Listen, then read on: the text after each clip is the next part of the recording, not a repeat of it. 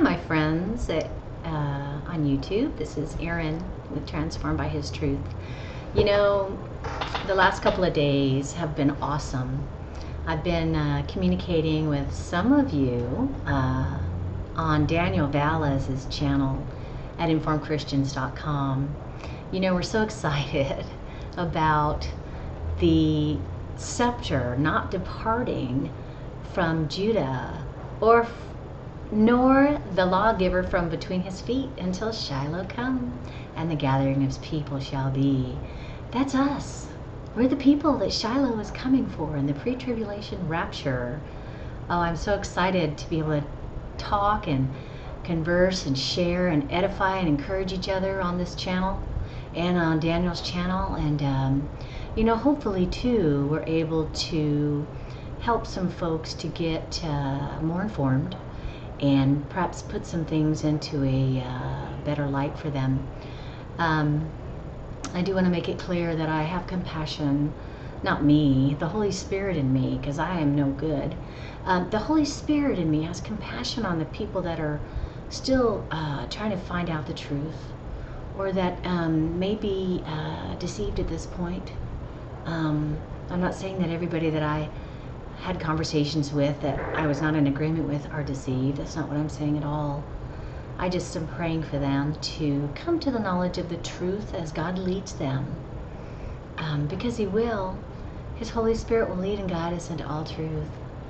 If we humble ourselves and open our hearts to His Word, I'll tell you, it's not always what we want to hear, but uh, it's always what we need to hear. And uh, let's not just be uh, hearers of his word, but let's be doers also. Let's obey our Lord and Savior so that we can go in the pre-trib rapture.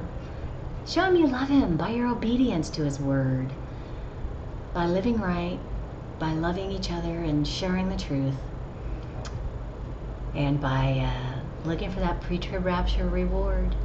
Anyway, um, this video, I wanted to uh, do an, a little bit of an addition to um, a video I already did on exposing false versions, uh, not false, but corrupted versions of God's Word. You know, a great uh, video was sent to me by a brother in Christ called Trumpet for, uh, Trumpet for Christ. And I want to give the credit to him because he sent me this fantastic video that um, I'm going to um, give you uh, the information for. Um, I so suggest that you watch it. It's called, um, give me one second. The Real Bible Version Issue Exposed Catholicism and the King James Bible. And it's put out, uh, well, it's posted by a graceful watchman. So I pray you will go and see that. It's 57 minutes long, and wow, it's just so full of awesome information. Again, the Real Bible Version issue exposed. Catholicism in the King James Bible. Okay, so hopefully um, I didn't black out uh, at that point because of the going to another um, window. Anyway, um, so uh, there were some discussions on uh, the comments that we were making together on Daniel's channel about the validity and the trustworthiness of the King James Version only. And honestly, um, we are in the very last seconds of this era, this age before the tribulation begins after the pre trib rapture. And so deception is almost at its highest. It will be completely at its highest during the seven year tribulation. But we're very, very um, in, a, in a time of deception right now. You know, Satan has attacked God's word, the King James Bible, with a vengeance. You know, and it's not just about translators who, in this case, are very corrupt and uh, ungodly men who hated God's word, um, who have um, their critical text has been used for all these newer versions. Um, but it's about God being able to preserve His Word. You know,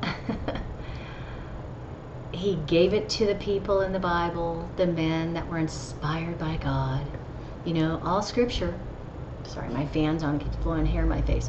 All scripture is inspired by God and is profitable for doctrine, for reproof, for correction, and for instruction in righteousness. And you know, God will preserve His word to the very end. He even puts His word above His name. That's how important His word is. Because the word is Jesus. Jesus Christ is the word. John 1 1 says that. In the beginning was the Word, and the Word was with God, and the Word was God. Jesus is the Word. He's referred to it very many, many times, including in Revelation, when he's talking to us, his church. Um, anyway, uh, so it's about uh, not being robbed of the deity of Christ, the fact that he is God, the Trinity, which is the word Trinity is not in the Bible, but there are many statements by God Himself talking about we. You know, in the beginning, you know, He said, um, um, in the beginning, God created. You know, He's ha- always had a begin. Uh, he's always been, and He always will be. He's, he doesn't have an end or a beginning. He is the end and the beginning. But He talks about. Uh, let us make man in our image. Now, don't misunderstand. That doesn't mean that we're little gods like Kenneth Copeland and Joyce Meyer and all these false teachers like to say, which is blasphemy. If you're listening to them, watch my videos about them. Get away from them. They're liars and they're being used by Satan to deceive God's people. Uh, I know I used to be one of the people that followed them. I've since come to my senses the Holy Spirit has led me because I wanted to know the truth into all truth. I'm still learning every day and growing as we all are. Nobody's made it there yet, so to speak. Anyway, um, so God, the Godhead is biblical. You know, the Father, the Son, and the Holy Spirit are one, but yet they are three. It's a mystery, but we are to understand it because God's, or to believe it because God's Word says it. We don't understand everything in His Word, not at this point, but we will someday. You know, we see through a glass darkly now, but when we're with Him, we'll see Him as He really is. So, you know, all the questions that we have about this, that, or the other thing, if they even matter at that point, will be answered by Father. He'll let us know what we need to know, as He has now in His Word. And He doesn't speak outside of His Word, He does not speak past the canon of Scripture. It was finished, and that is what we have to hear from God. You know, I have a saying, if I can get it right. if you want to know what God has to say, read the Word of God. If you want to hear God's voice, read the Word out loud. So, anyway, haha. Um, back to uh, why you can trust only the King James. You know, um, watch the video I recommend. I will um, read from a couple of uh, articles about it and uh, open your heart to God. He'll show you the truth. Okay, so, and I get very upset with people who try to um, say that the King James, well, I don't get upset, I get frustrated because, you know, they say the King James is too hard to understand. Well, it's not. Uh, the Holy Spirit will help us to understand His Word you know, and God preserved it in that language for us. We may not speak that way today, but if you do your research about what the these and the thous and those really stand for, it's a very personal way of speaking to us from our Father. Look it up. Anyway, um, so let me go to uh, not that one. Um, oops. Hang on, I messed up um, want to go to an article that I recently found. Uh, I have other uh, articles that I cite on Westcott and Hort, who were two demonically inspired men that uh, Satan used to bring on uh, bring about the uh, text for all this these fake versions. Um, okay, so um, to begin with, they were unbelievers. And so I'm just going to quickly say uh, from this article from Christian Doctrine. Uh, I don't necessarily agree with everything on any article that I cite, just the contents in the article themselves or the videos. I always try to say that because I don't want people to come back and say, oh, well, this person said that. Well, that's not what I was talking about. And maybe they are, and, you know, I don't know where they are on that issue particularly. I just know where they are on this one. So, um,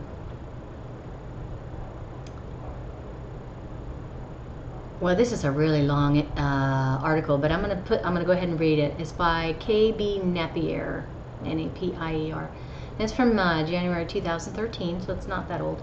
Okay, okay, so I am often asked which is the best Bible version to buy and use. My answer is always the same the 1611 King James Authorized Version, but not the modern KJV. And I always advise that all modern versions are based on the sinful theological practices of Westcott and Hort unbelievers who hated the authorized version. Enthusiasts of the modern versions complain that their versions no longer follow the system developed by Westcott and Hort, so our statement is no longer valid. This is deception. Modern versions do base their work on these two unbelievers. Some textual critics of the 20th century tend to publicly distance themselves from Westcott and Hort because their work has been discredited.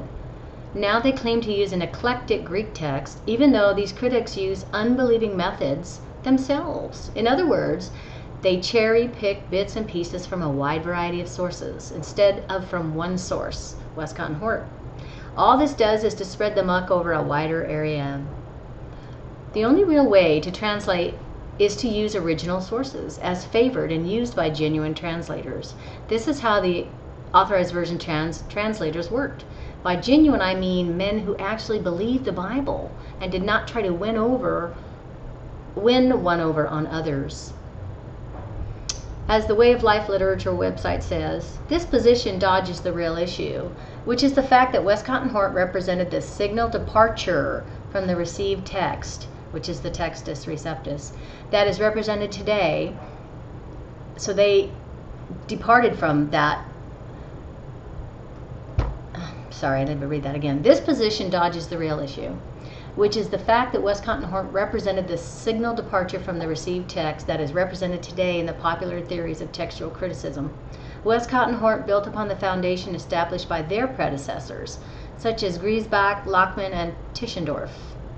Westcott and Hort adopted the textual, the- textual theories on these men by their own, into their own unique blend, and their Greek New Testament represented the first popular departure from the Greek received text, which is the Textus Receptus, also known as the received text. The men referred to were advocates of higher critical analysis and similar modernist trends. Gee, that doesn't say a lot about them, does it? Uh, as being very uh, godly. They were unbelievers who, who imposed their own literature based ideas onto the Bible given by God. So Westcott and Hort, who were unbelievers, based their own skewed translations on these men's works. Work. Note that the much used heretical Scofield Bible, used by dispensationalists, is also found on the work of Westcott and Hort, as are all modern versions to a greater or lesser degree.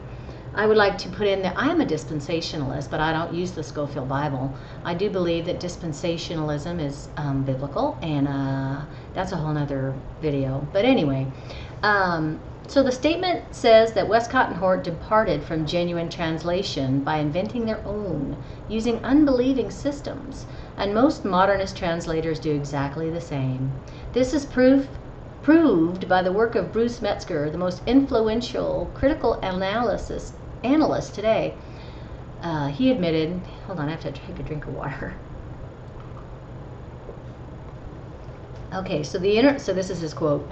The international committee that produced the United Bible Society's Greek New Testament not only adopted the Westcott and Hort edition as its basic text, but followed their methodology in giving attention to both external and internal consideration. This is cited by James Brooks, Bible Interpreters of the 20th Century, page 264. James Brooks also adds there is nothing unique about Metzger's theory of textual criticism. It is simply a refinement of Westcott and Hort's theory in the New Testament in the original Greek, 1881. This theory is dominant today in part because Metzger's, of Metzger's great influence. It was the theory employed in producing the United Bible Society's Greek text.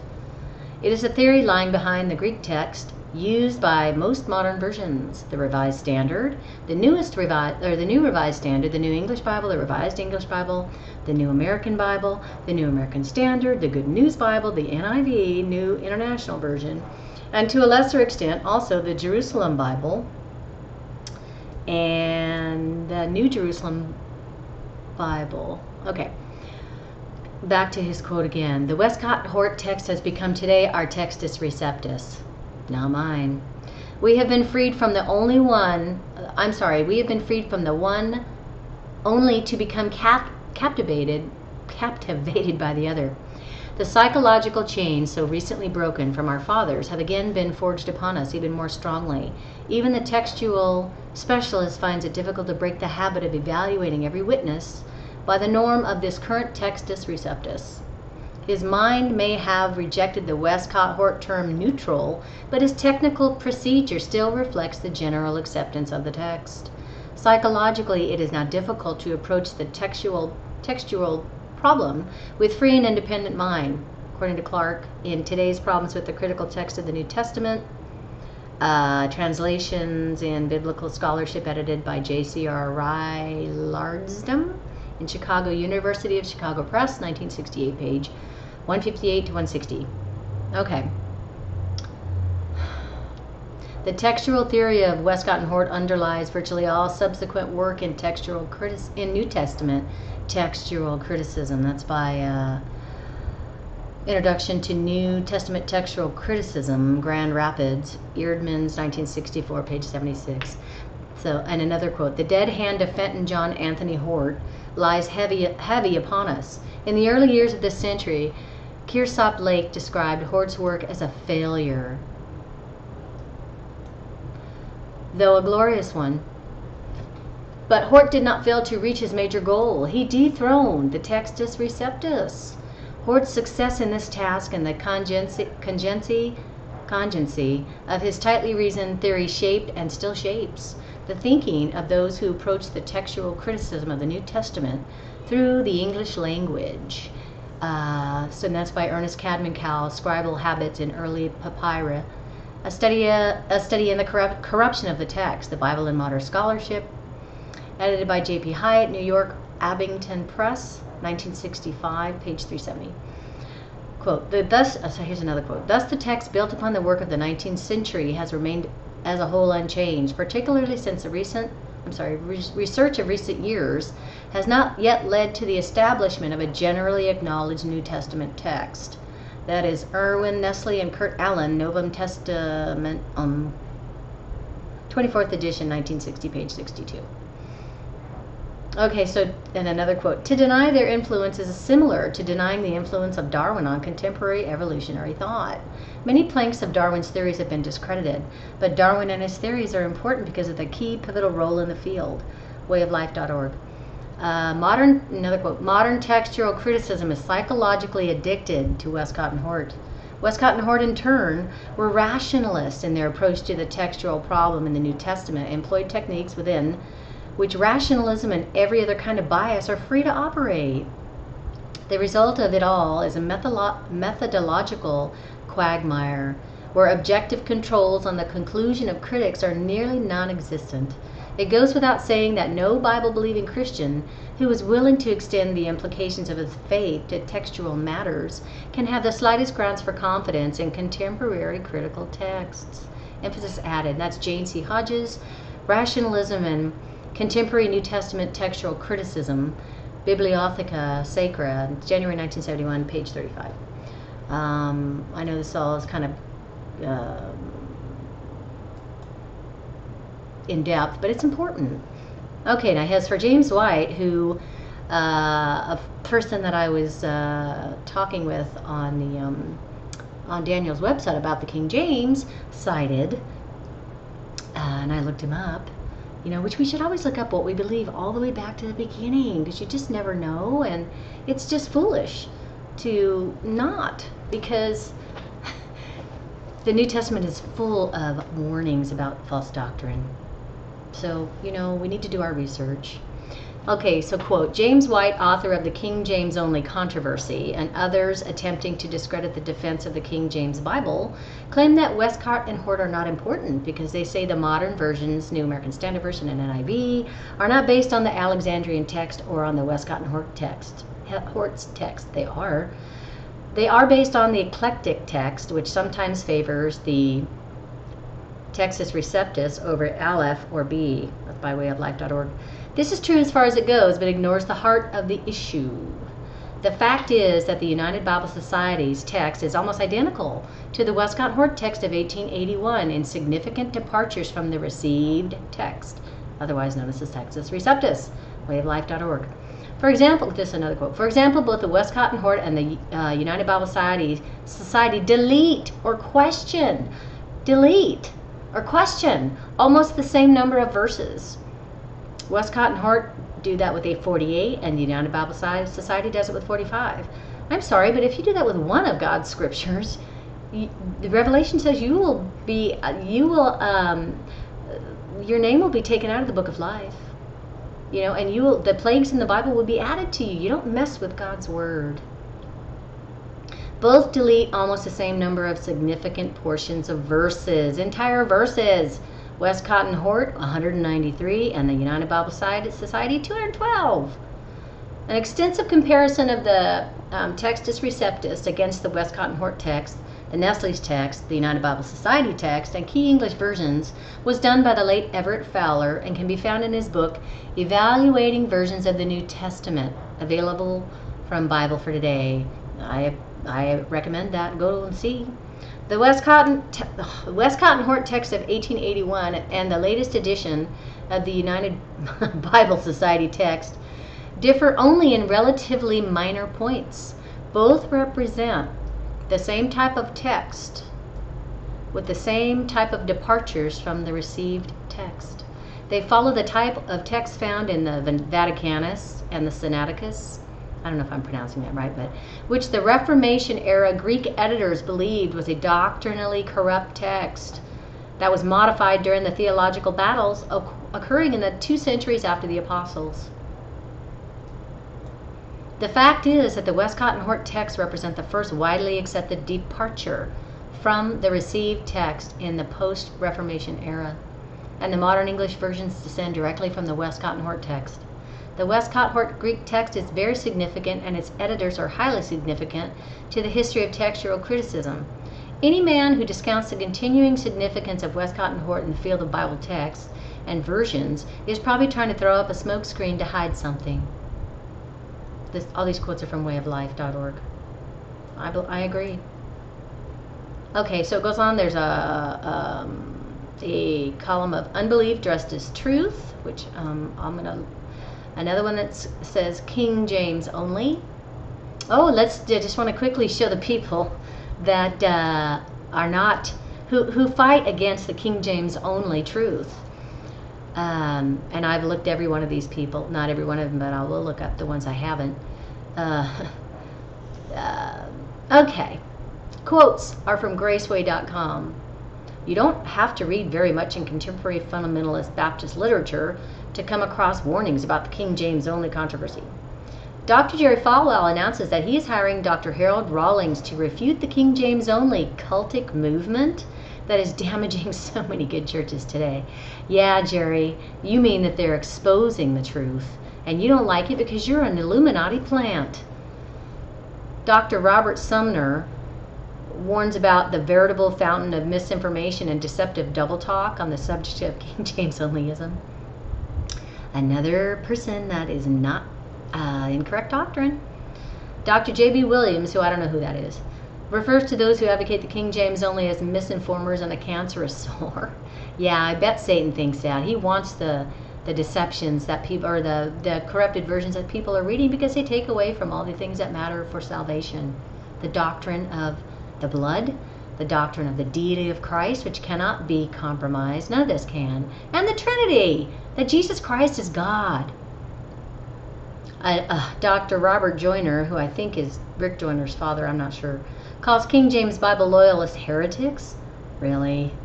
Well, I'm sorry, but um, the heretics will be revealed very soon, and I pray that all these guys repent if they're still alive. Dr. James R. Wright, White, the guy I quoted in the conversation with me on Daniel's channel about the King James Bible, warns about King James Bible proponents undercutting the very foundations of the faith itself. Unquote. Well, how would that be when we are actually defending the omitting of Scripture and the changing of Scripture? They're liars. Note who these people are. Also note that charismatics, which I used to be, tend to sneer at the 1611 King James Version, particularly because they are Universalist Arminian heretics. The, the name of the various denominations is irrelevant to this, so I'm not going to, it's not going to go there.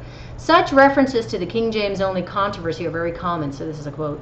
Some refer to loyal supporters of the King James Bible as the King James only cult yeah, anything you can do at the enemy of God to, uh, you can't burn us at the stake in this country, so you're going to do anything else you can. Okay, another common term is the snaring reference to the King Jimmy Boys. However, the use of the King James Bible only wasn't always so controversial. Controversial, for the world was definitely King James only for centuries, as newer versions came and went. All right. There had always been opposition to the King James Version from Rome. Surprise, surprise. But the attack in the 1870s came from many who were officially Anglican. Westcott, a bishop and spiritual advisor to the Queen, and Hort, professor at Cambridge University, both decided without a real reason that the oldest manuscripts must be better than the ones used for the 1611 King James Version, even though centuries of biblical scholars thought otherwise. They set out to replace the King James Version and its Textus Receptus sources with their own version, based on manuscripts rejected by King James Version translators and earlier scholars. As one commentator says, hold on. In short, their theory suggests that for 1500 years the preserved Word of God was lost until it was recovered in the 19th century in a trash can in the Vatican Library. Well, there's a problem there. Let's remember that the Vatican is the home of the Scarlet Beast, the, the woman who rides the beast. The Catholic Church, Roman Catholic Church, is the whore of Babylon. You know, do your research.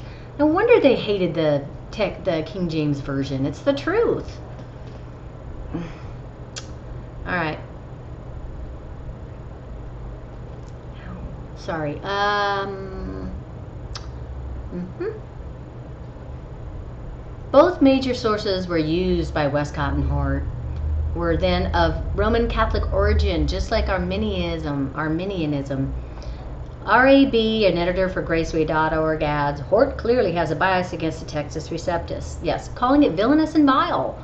Hort aggressively taught that the school at Antioch, associated with Lucian, has loosely translated the true text of Scripture in the second century AD. This supposedly created an unreliable text of Scripture, which became the Textus Receptus. Really? Give me a break. This was called the Lucian recension theory. This guy, that RAB knows what he's talking about. Hort used his own hypothesis to prove the sources for the King for the King James version were wrong. He had no actual proof from anywhere. In this, he reflected the wicked theories put out by the emerging higher critical schools and their various sub-schools. This undermining of truth still goes on in most Bible schools and seminaries. That's why most of these Bible schools and minister and ministries and seminaries, or sorry, not ministries, but seminaries, are teaching things like this, and that Scripture is not ins- truly inspired by God, and that uh, we can, it cannot be trusted as God's word, and you know, that uh, just a bunch of other garbage. All right. Al, so this is a quote. Alfred Martin, former vice president at Moody Bible Institute, where um, James R. White went to school, Institute wrote in 1951, the present generation of Bible students have been reared on Westcott and Hort. For the most part, for the most, let's see, have been reared on Westcott and Hort have for the most part accepted this theory without independent or critical examination. There's their mistake. If believing Bible students had the evidence of both sides put before them instead of one side only, there would be not there would not be so much blind following of Westcott and Hort. The two most popular Greek manuscripts today, Nestle's Aland and United Bible Society, differ very little from the Westcott and Hort text. He's a former vice president. He probably got away from there because he realized what was going on. I hope for him. What you have to believe to accept the Westcott and Hort theory. Okay, I do want to quickly go into this. You have to believe that people who believe in the deity of Christ often corrupt Bible manuscripts. You have to believe that people who deny the deity of Christ never corrupt Bible manuscripts. You have to believe that people who died to get the gospel to the world couldn't be trusted with the Bible. You have to believe that their killers could be trusted. You have to believe that the Celtic Christians, Waldenese, Albigenes, I'm sorry, probably butchering these words, Henricians, Petrobrusians, Paulicians, Paulicians, the Greek Orthodox Church, the Protestant churches, the Anabaptists, and the Baptists all did not have the pure Word of God. You have to believe that the Roman Catholics in the 19th century rationalists did have the pure Word of God. Remember, the Roman Catholic Church is the uh, whore of Babylon. We can all argue the merits of the various groups above, but the, the gist of the argument is there. All right. And then it goes down here and talks about how Westcott and Hort are heretics. And they are.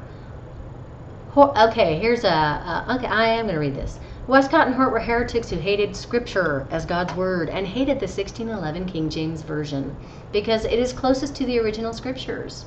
Excuse me.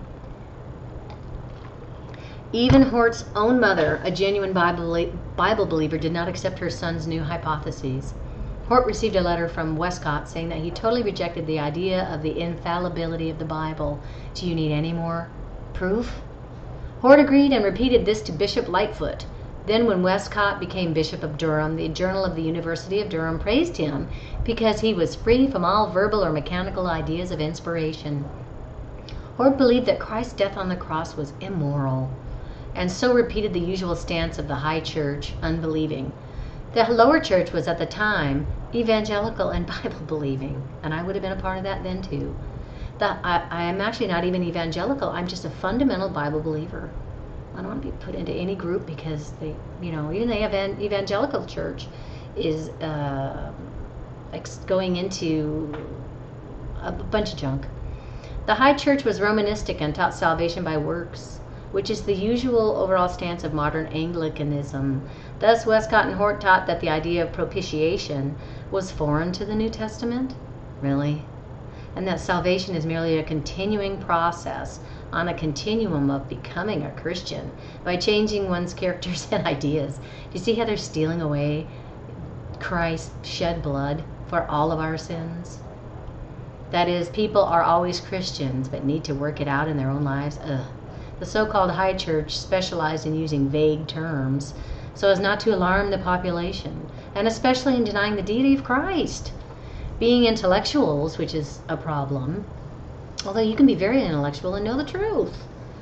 Both Westcott and Hort could easily have used clear language when teaching on Christ, etc., but they did not. They chose unclear, fuzzy language in order to hide their true position from scrutiny. Westcott rejected the histos- historicity of Genesis 1 through two 3. Hort praised Darwin and evolution. Both Westcott and Hort also praised the Christian socialist movement and thus communism, and Westcott took active part in its organization and work. Inevitably, both men advocated reunion, reunion with Rome.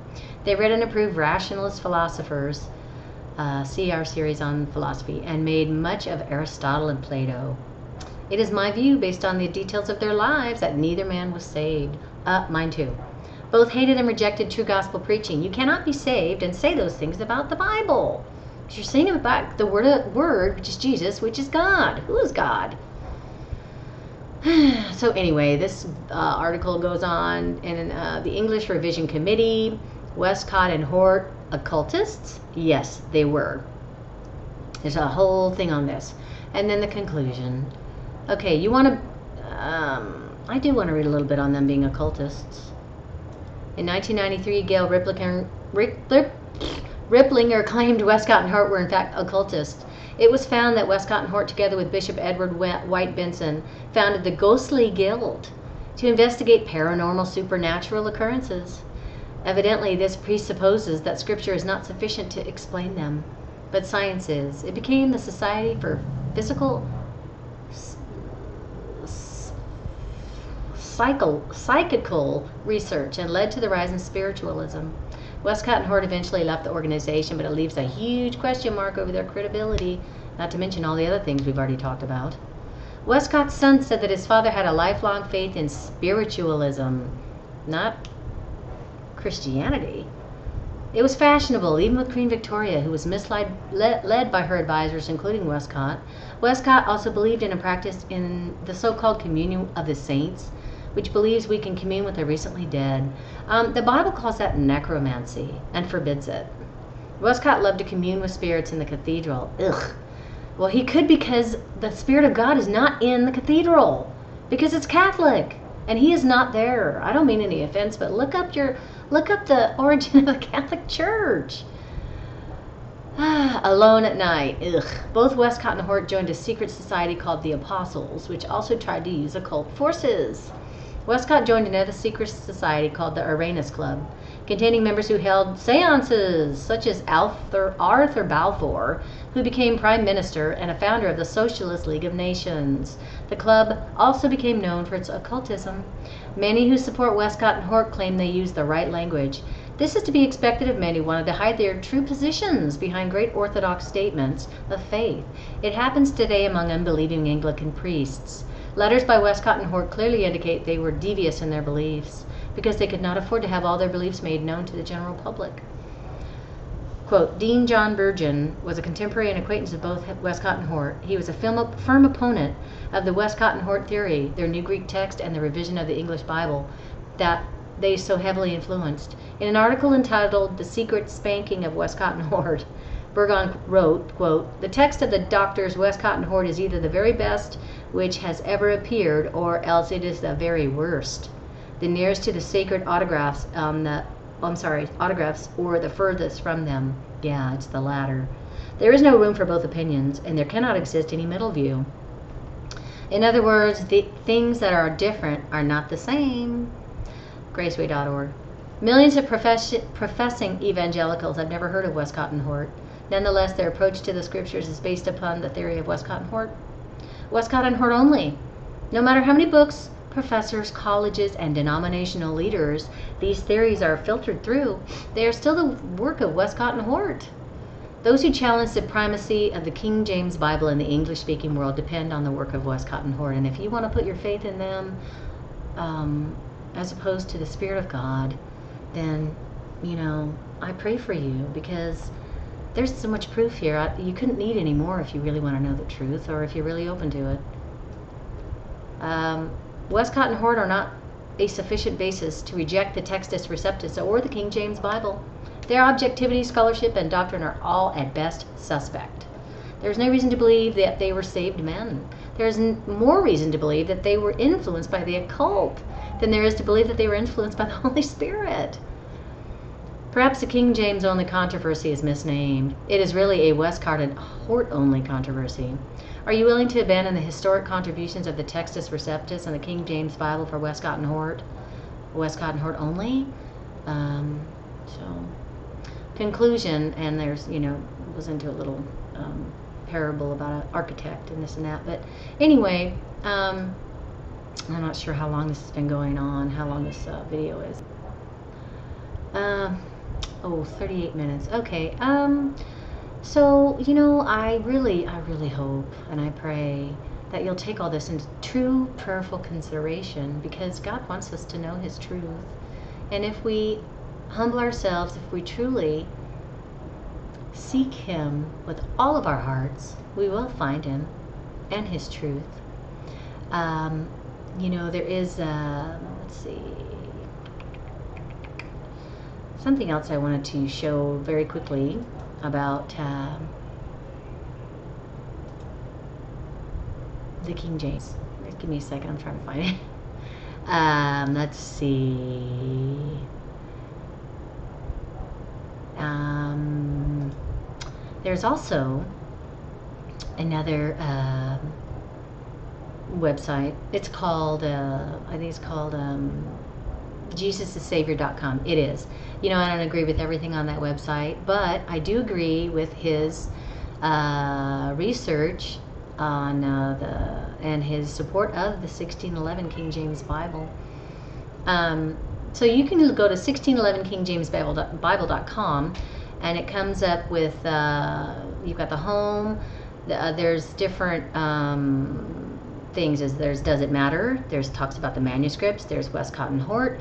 Is old or better? There's other translations, altered verses, and links. You know, go to that website and go to and check out the ones that I've I've um, um, shown you here because they're so important. You know, knowing the truth is so very important.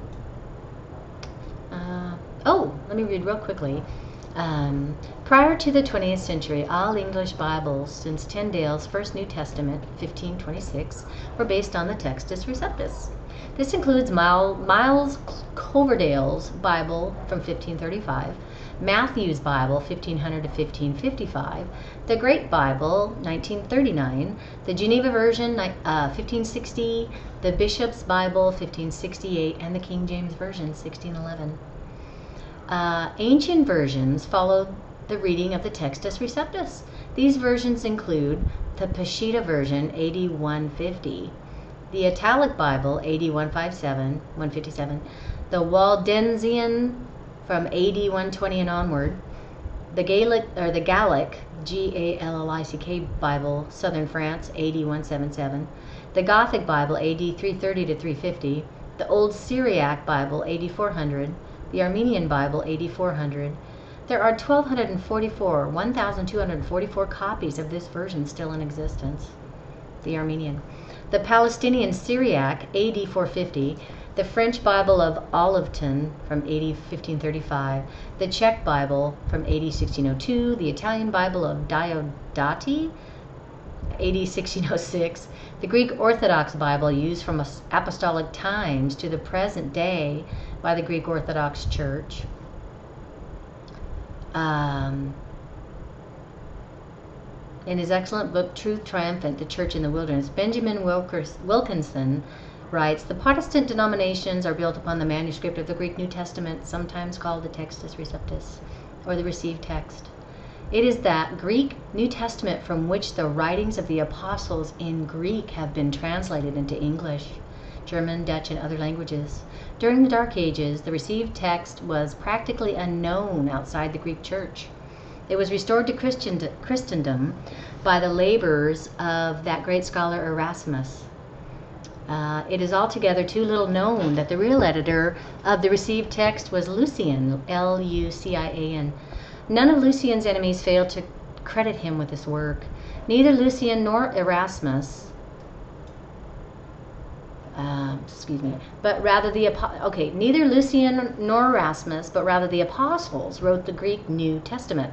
However, Lucian's day was an age of apostasy, like today, when a flood of depra- deprivations was systematically attempting to devastate both the Bible manuscripts and Bible theology. Gee, Satan never changes, does he? Origen of the Alexandrian College made his editions and commentaries of the Bible a secure retreat for all errors and deformed them with philosophical speculations, introducing casuistry, casuistry and lying. Lucian's unrivaled success in verifying, safeguarding, and transmitting those divine writings left a heritage for which all generations should be thankful. Okay, so real quickly, uh, why did the early churches of the second and third centuries and all the Protestant reformers of the 15th, 16th, and 17th centuries choose Textus, Textus Receptus in preference to the minority texts? The answer is because of the following.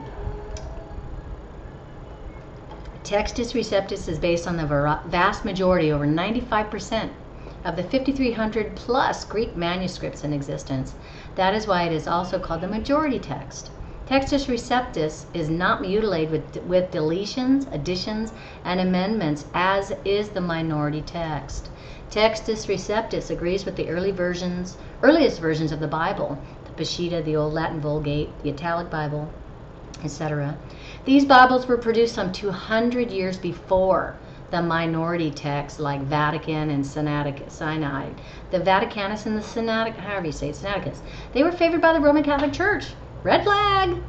Textus Receptus agrees with the vast majority of the 86,000 plus citations from Scripture by the early church fathers. Textus Receptus is untainted with untainted with Egyptian philosophy and unbelief the person that wrote me about this brought up the Egyptian. And you know, they haven't dug deep enough, I guess, or they don't care. It's not an argument. I just want to prove that the the King James is true because of the error of the other scripts or the other uh, Bibles um, and the transcripts.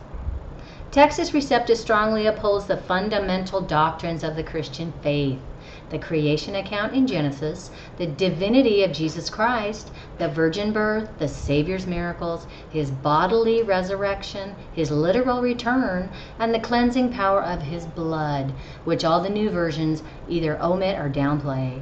There's a problem with that, a major problem. Textus Receptus was and still is the enemy of the Roman Catholic Church. This is an important fact to bear in mind. Anyway, and at the bottom of this, it's awesome because it has um, uh, yeah, it has uh, articles that you can go to on Catholic Catholics and the Jesuits. I'm a former Catholic, so you know I've done my deep research on the Catholics and the Jesuits. They're very wicked. Not Catholics who don't know, but the people in charge, they know what they're doing. Tischendorf, Origen, Constantine, um, all of it. So please, please, please, please go to these uh, go to these websites, go to these places that uh, God has made available through these people.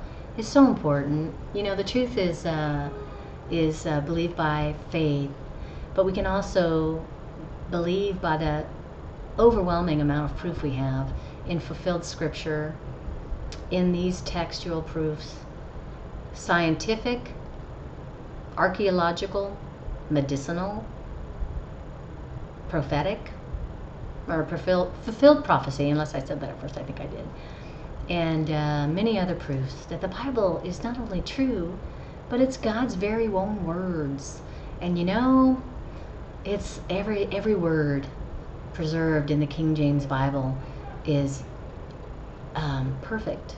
And God does not mince words. He doesn't put one single dot or tittle in there that is not important. So I really pray today that you'll humble yourself. Ask God to show you the truth. You know, I'm just one person trying to help others to um, come out of false doctrine, including the false version or uh, corrupted versions of the Bible. Anyway, I'm going to make another uh, video now on the danger of the uh, of gematria, gematria, uh, there are so many people that are trying to find Bible codes and all this junk in this uh, stuff, and you know it's very dangerous and it's not necessary. Um, God has given us all that we need to know in His Word. And the only number He asks us to figure out is the number of the beast, and He tells us it's 666. So, and He says that we, the body of Christ that goes in the pre trib rapture, will not know the identity of the Antichrist. He will not be revealed until after the rapture. So please be ready. Please go to Daniel's uh, Informed Christians website and watch the letters to the seven churches so that you can be ready to meet Jesus Christ in the air in the rapture and so that you won't be left behind with the hypocrites and those that didn't put him first and didn't study to show themselves approved. Okay, guys, I I pray that this has been a blessing, and I know it upsets some, but I, you know, sometimes that's what we need to come to the knowledge of the truth. Thank you, and I pray that uh, you have grace and peace in Jesus' name.